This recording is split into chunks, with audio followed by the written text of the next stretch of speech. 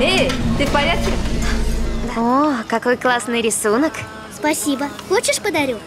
Прости, я была очень грубой. Нет, нет, нет, и нет, я сам виноват. Надо было спросить, прежде чем делать. Здесь так красиво. Да. Это мое самое любимое место.